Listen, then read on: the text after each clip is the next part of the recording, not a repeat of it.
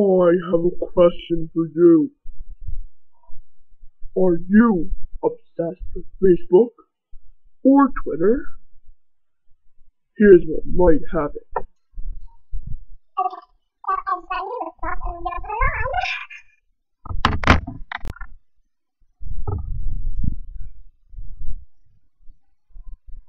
Just.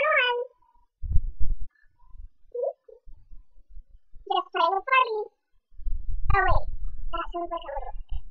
Oh well.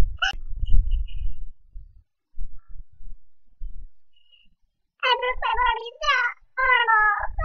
Just singing.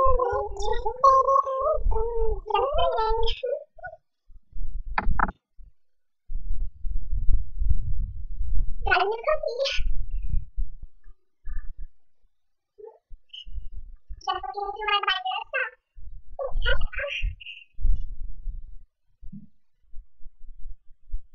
See, this is what could happen to you if you get obsessed with Facebook or Twitter. Good luck.